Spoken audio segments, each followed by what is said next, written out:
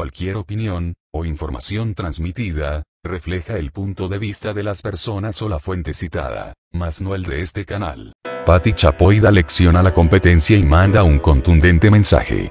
Patti no habló del caso de Atala Sarmiento, pese a que ésta la ha dejado mal parada en más de una ocasión.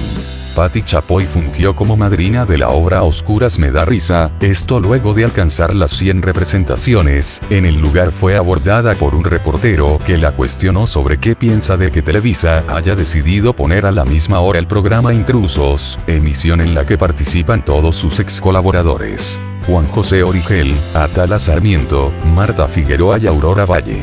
Patti, con el temple que la caracteriza, aseguró que siempre ha sido así.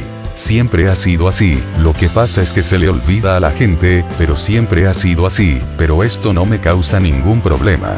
La titular de Ventaneando dejó en claro que es mejor que todos ellos, refiriéndose a los conductores de intrusos, tengan trabajo a que estén desempleados, pues eso no los llevaría a ningún lado. Imagínate lo difícil que de pronto no tienes trabajo, un sueldo, pues es muy complicado, qué bueno que tienen trabajo, qué bueno que lo están haciendo y además me da gusto de pronto, porque ni en sueños me lo imaginé, que Televisa hiciera un reconocimiento a mi trabajo en 22 años de Ventaneando y en 25 de Azteca, para mí, pues es lindo. Aseveró que ella no tiene ningún problema con ninguno de ellos, pese a que algunos aseguraron que es una jefa complicada pues imagínate qué complicada soy que afortunadamente bueno, en el caso de Marta estuvo un año nada más, Aurora, ya no me acuerdo cuántos años estuvo, Juan José estuvo un año también, dos años y si hubiera sido complicada yo creo que no hubieran aguantado ni un año.